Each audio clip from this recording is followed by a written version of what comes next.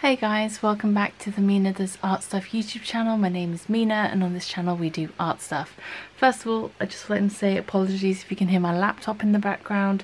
It is processing some stuff. I was hoping it would be finished before I had to get to recording, but it's still going, so we're just powering through.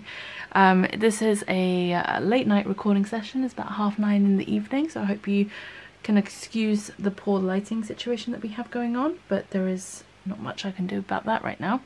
Uh, today is actually the 1st of January 2023, so Happy New Year. This video probably won't be coming out too soon, but soon enough, hopefully.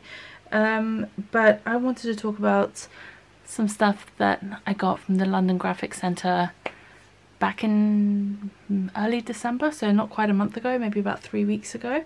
Um, so during the month of December, I actually did a Vlogmas on my other YouTube channel, on my knitting channel, um, and on one of the days my older daughter and I went into London for just a fun mummy daughter day out and we popped into the London Graphic Centre. As it happened it was almost by coincidence. I kind of forgot that it was in Covent Garden and we just happened to be walking past it.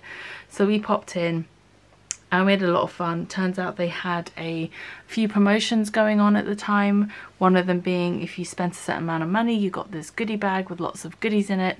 And I was actually surprised by the quantity of stuff included. And that's one of the things we're going to look at today.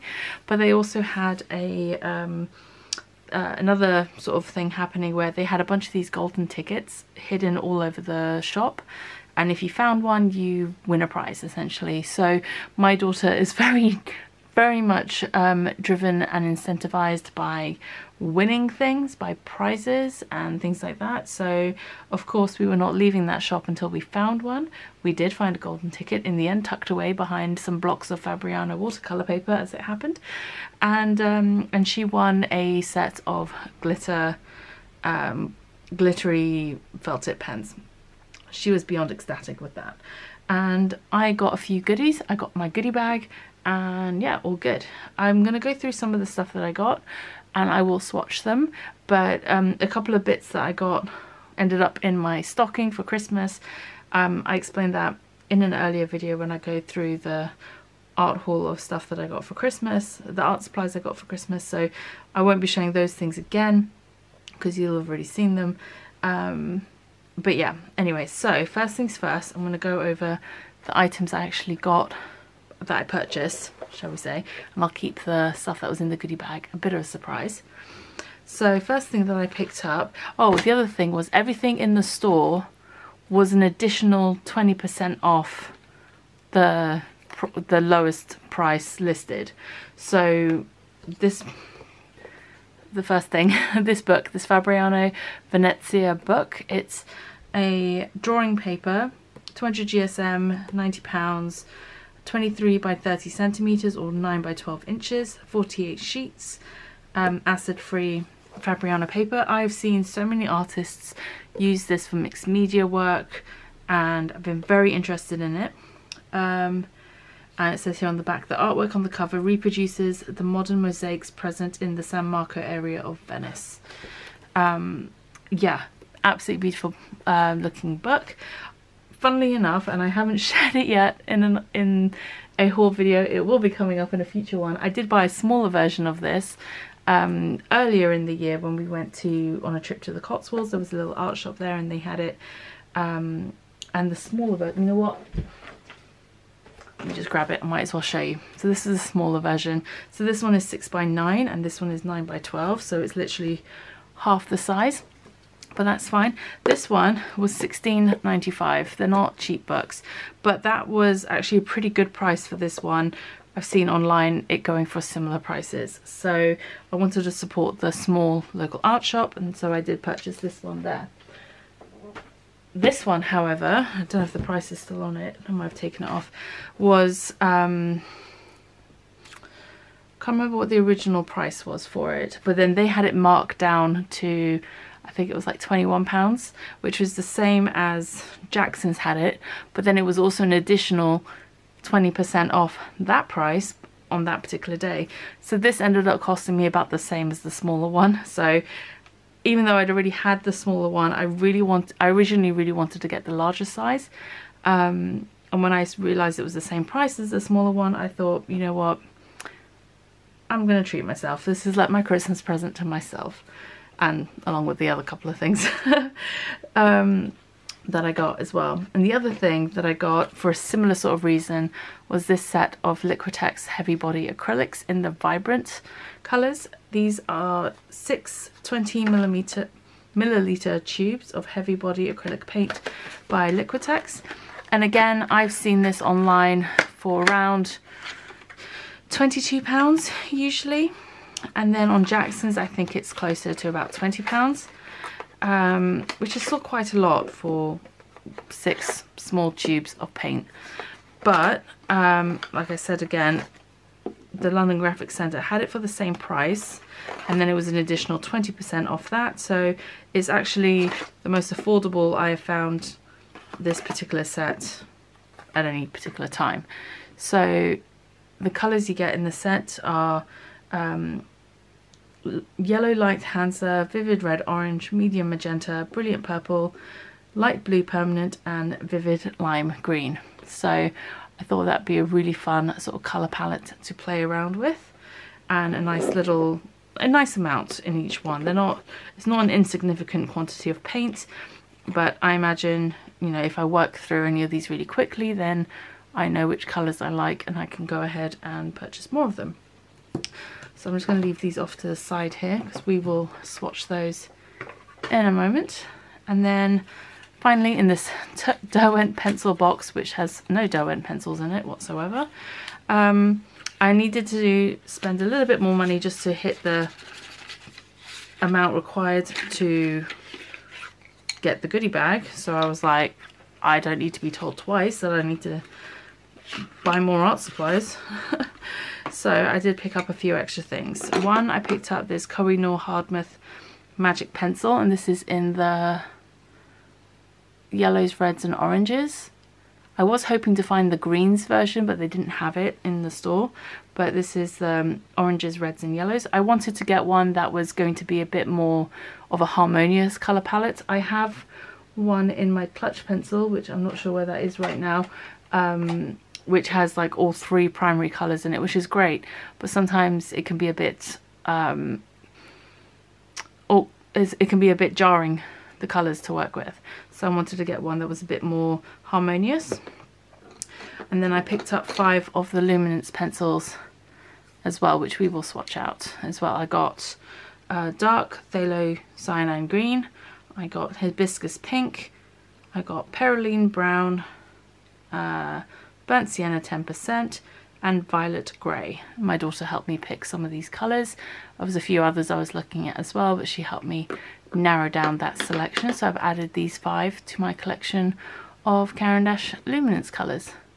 So I'm going to go ahead and change out the battery on the camera because it's flashing at me and then we will go through the rest of the items under this lovely red bag. We have all the goodies that came in the bag, which like I said, a surprising amount of stuff was in there. So let's push it all back over and we'll go through it one at a time. First of all is this London Graphics uh, Centre branded ruler, which is always handy to have. Then we have this pack of from Stabilo with a range of their pens, I guess. So we have a Stabilo Pen 68 brush nib this sort of purple colour. See there's a colour name on here, there isn't. Okay, then we have a Stabilo 0.88 0.4 fine. That's just a fine liner in green. And then we have a Stabilo Pen 68. So these are all different, right? Oh no, this is the same as the other one, but this one is not a brush pen. This one's just a bullet nib. Okay, and then finally we have the Stabilo Sensor fine liner in this bright pink, which I will probably give to my daughter because she already had her eye on it when she first spotted it. Then we have this Daler Rowney Artist Sketchbook, A6 size. Um, again, pretty standard sort of cartridge paper. Feels quite nice. It's nice thick paper. It's well, it's, it's 160 GSM, so 109 pounds, which is quite nice. Um, maybe we'll do some swatching in this one. We'll see. It's a nice little pocket size. Then we have this Jakar Eraser Sharp combination ink, pencil, eraser and pencil sharpener. So that's interesting. I've never seen this before. Get that open. So it's a combination, I guess this is the pencil and this is supposed to be for ink, I suppose. And then there's the pencil sharpener in the middle, so maybe we can test that out. And there were two Poscas in the bag, which was quite cool. So there's this Uni Posca light pink in the PC3M, so that's the smaller bullet nib. And then there's this metallic metallic green in the PC5M. This one has a plastic wrapper on it. So I find actually just twisting the cap um, helps to get the plastic off. And this one has the slightly thicker bullet nib. Then we have a Micron 03, nice small fine liner. There is a Tombow water-based brush pen in the N15, which if I'm not mistaken is just black. So that's the brush end. And then there's the bullet end as well. There's two of the Unipin fine liners. One is the 1.0 and that's just a nice fat chunky fine liner tip.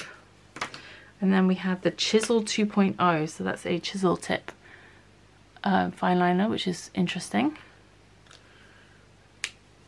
And then we also have a Winsor & Newton Pro marker in blush. And this is an alcohol-based marker. So that's the, is that a bullet nib or a brush nib? Guess we'll find out. And then on this end we have the chisel. So that must be a bullet nib. And, oh, that smells. I don't really use alcohol based markers so I don't have any experience with them so that'll be interesting to try out. Then there is a tube of System 3 acrylic in lemon yellow which is nice, not which is a colour I don't actually have in my acrylics. Then there's this sample box of two Winsor & Newton Artist oil colours which is interesting. I don't use oil paints but I will attempt swatching these out. We've got one in Smalt Dumont's Blue, PV15. Uh, and then we've got Ruby Madder Alizarin, which is PR187. So I guess we will attempt testing those out, probably on a separate sheet of paper because oil paint takes forever to dry. And I'll probably just use a palette knife to spread it so I can just wipe it clean.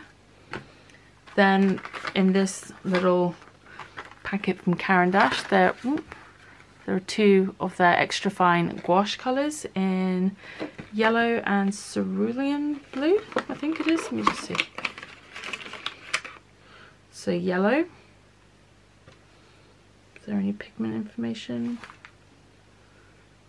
Uh, nope, just says it's made in Geneva. And then cerulean blue. Yep, just says gouache extra fine, 10 milliliter tubes. that's about it. So yeah, that's cool. Two tubes of gouache.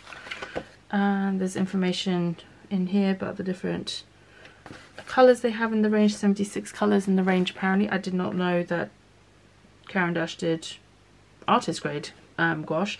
I've heard of their studio line, I didn't know they had the extra fine gouache in tubes. So that's interesting. Um, then there's also another Caran d'Ache item here. This is a pan of watercolour, which is interesting. Again, I didn't know Caran d'Ache did pan watercolours. Information in here about their different um, uh, products, I guess. And the pan that they included is English Red, so we will try that one out as well. It's PR101, red iron oxide. Then I have two rolls of tape. There is this, uh, looks like fabric tape. So I'm not sure what that is used for. Oh, you can tear it by hand, so that's good to know. Um, but it's like a fabric canvasy type of material. And then the other one is a roll of MT tape, 15 millimeters by 10 meter roll of this blue spotty tape, which is always nice. There is this uh, Faber-Castell eraser, no PVC, no dust, and it's green, which is interesting. I've not seen that before. Um, so we can give that a go. It says tear here. So, ah, okay. So that's to just expose the end. Guess we'll try that one out see how that works. There is a sample of a Faber-Castell Gold Faber pencil in colour 140. doesn't actually have the colour name on here, so I'll have to look that one up and see what it is. It says 3.3 milliliter, millimeter lead, excellent light fastness, break resistance due to secural bonding. Available as single pencil or in assorted tins. So it's available open stock is what they're trying to say. Um, it says soft colour laydown and yeah so we'll try that one out. Like I said, lots of things to try out. And then there's this Derwent Academy selection. So there's a Derwent Academy watercolor pencil in orange. There's a water-soluble marker. Derwent Academy doesn't have a color name on the barrel. And then there's an oil pastel in, I don't know, I'll try and take that out.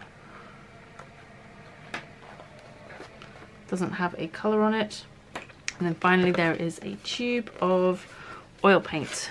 If I can get that off, there we go. In burnt umber. So again, we will try that out with the Winsor & Newton on a separate piece of paper. And then in this bag, Pentel all over it, we have, honestly, it's like a never ending bag of supplies oil pastels. Pentel Arts oil pastels. Information. Oh, and about their brush sign pens as well, so that's interesting. So we have three of the Pentel oil pastel sticks, so we'll try that out as well. And then there's a Pentel Energel 0.7, it's like a rollable pen. And then one of their brush sign pens in this lovely deep purple colour. Okay. I actually have a selection of these already, which um, I don't have up here. I have them downstairs with my uh, diary for 2023, like my uh, planning diary. So in violet, this is the colour. I don't think I have this colour, so that's actually quite nice. All right, I'm going to clear some space and then we can get to swatching all these supplies. I am genuinely quite shocked at the sheer volume of stuff that came in the goodie bag. Like that's a lot of supplies. So yeah, let's let's try them out.